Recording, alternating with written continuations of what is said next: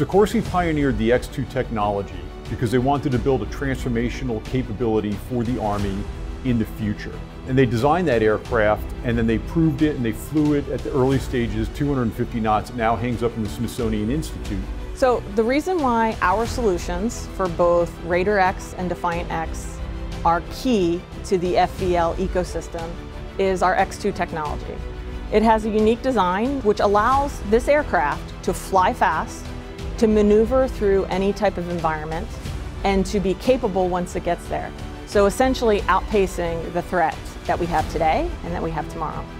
The X2 technology and the pusher prop, the, the rigid rotors, the incredible lift capability it has, and then what the prop brings. So you're going to get to the fight faster, you're going to be lower, you're going to go farther, you're going to go faster, and then when you get there, you're going to have much more capability.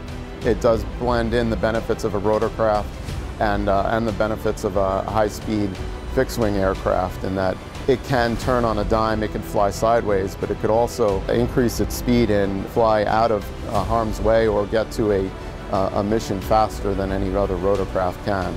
And that's all due to the X2 technology.